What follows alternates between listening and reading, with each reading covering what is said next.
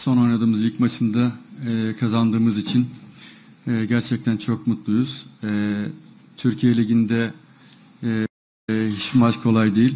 Her maçın birbirine göre e, farklı zorlukları var. E, hem iç sahada hem deplasmanda da oynasak e, gerçekten e, her takım kendine göre güçlü tarafları var. Herkes daha iyi olmak için ve bize karşı daha iyi motive olarak e, futbol oynamaya çalışıyorlar. E, bunu da son Antalya maçında çok net gördük ki ama sonuçta bu bir lig maçı e, 3-2 kazanmasını bildik. Oyuncularımı tebrik ediyorum.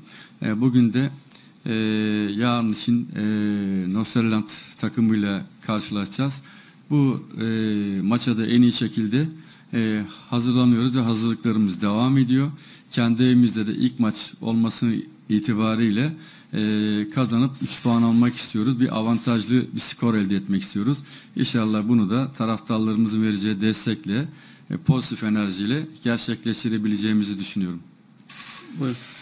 Selin Koca Türk Sports Dijital. Hocam öncelikle yarınki maçta başarılar diliyorum.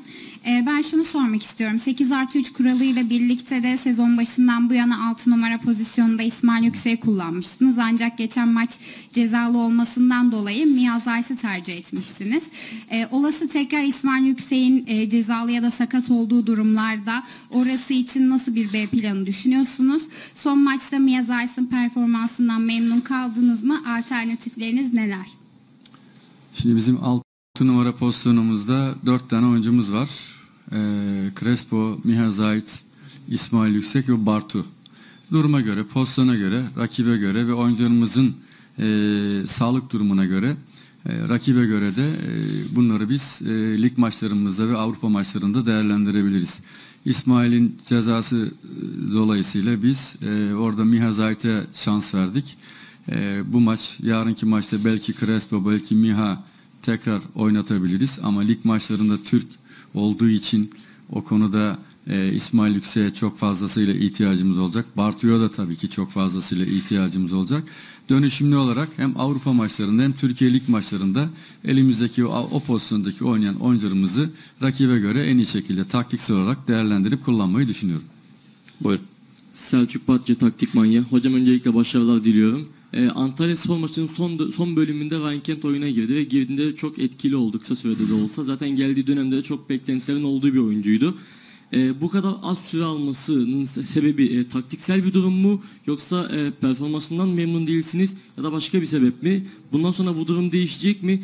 Özellikle Tadic'in zaman zaman e, zaten saha içindeki pas etkinliğini e, zaten yine çok üst düzeyde ama Tadic'in skor olarak düştüğü bölümlerde Ryan Kent'i daha çok sahada görecek miyiz? Teşekkür ediyorum. Sonuçta biz bir takımız. Bütün oyuncularımız bizim için değerli. Her oyuncumuzun eee, ne kadar değerli olduğunu, neler yapabileceğini biz çok iyi biliyoruz. Her maça göre, her rakibe göre oyuncularımızı hazırlıyoruz, motive ediyoruz. Ryan Kent'in de oynadığı maçlarda iyi oynadığını, performansından gerçekten çok memnunuz. Antrenmanlarda da memnunuz ama dediğim gibi 27-28 kişilik bir kadromuz var. Türkiye'deki maçlara göre Türk oyuncuları oynatmak, kadroyu planlamak farklı bir şey. Avrupa kupalarında e, elimiz biraz daha güçlü oluyor. E, oradaki kadroyu planlamak daha bizim için rahat oluyor. Onun için biz bu şekilde e, bu durumdan dolayı da oyuncularımızı en iyi şekilde değerlendirmeye çalışıyoruz. Zaten Kent'in de e, oyuna sonradan girmesi, baştan oynaması itibariyle performansından gayet memnunum. Ecem Hanım. TV Bu Spor ve Can Gençkal öncelikle yarın için başarılar dilerim. Ee, Antalya Spor maçında sahaya girdikten, oyuna girdikten kısa bir süre- sonra sakatlanan Cengiz Ünder'in sağlık durumunu soracağım. Bir de Emre Mor'u ne zaman izleyeceğiz diye sormak istiyorum. Teşekkürler. Cengiz Ünder'in sakatlığı gerçekten e, bizi de şaşırttı. Yani birinci dakikada e, hiç hayatım boyunca görmediğim, alışık olmadığımız bir sakatlık pozisyonu oldu.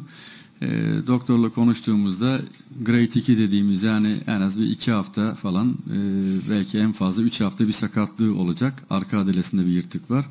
E, Emre Mor'un da e, sakatlığı geçti gibi şu anda hafiften bir düz koşulara başladı. O da bir iki hafta, üç haftaya kadar e, takıma dönebileceğini düşünüyorum. Ahmet Bey. Ahmet Selim Kulağı Spor. Hocam e, grupta kağıt üzerinde belki Fenerbahçe'ye göre daha zayıf denilebilecek rakiplerle e, karşılaşacak. Fenerbahçe bu tur aşamasında rotasyonu ne ölçüde tutacak? Rotasyona bakışı nasıl olacak? E, bununla ilgili düşüncelerinizi merak ediyorum. Yani geniş rotasyonlar görecek miyiz yoksa daha dar rotasyonlar? Şimdi şöyle e, bir kere ilk lafınız yani zayıf rakip diye bir şey yok. Her rakip kendine göre güçlü. Mesela yarın hocamız Roşelen takımı e, 12 resmi maçta 8 galibiyet, 3 beraberlik almış. Sadece tek mağlubiyeti var. E, ayrıca ligde 2 puan geride ligde 3. sıradalar.